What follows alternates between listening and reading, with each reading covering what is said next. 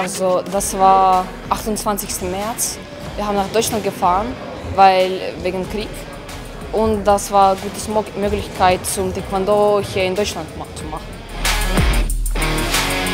Mir gefällt, dass die alle die Leute aus anderen Ländern sind. Hier sind alle nett, organisiert und pünktlich. In meiner Freizeit mache ich äh, viele mit meinen Freunden aus Taekwondo, irgendwelche Sachen.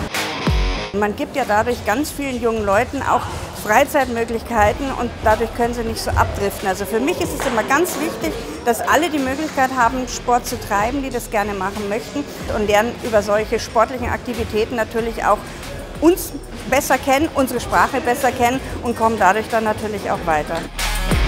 Da wird nicht nach der Herkunft gefragt, da wird nicht nach dem Sozialstatus gefragt, da macht man einfach gemeinsam Sport. Und das möglichst fair miteinander, aber gleichzeitig auch bereit, Leistung zu erbringen. Das sind ganz wichtige Grundwerte auch in unserer Gesellschaft und das wird in den Sportvereinen super gelebt.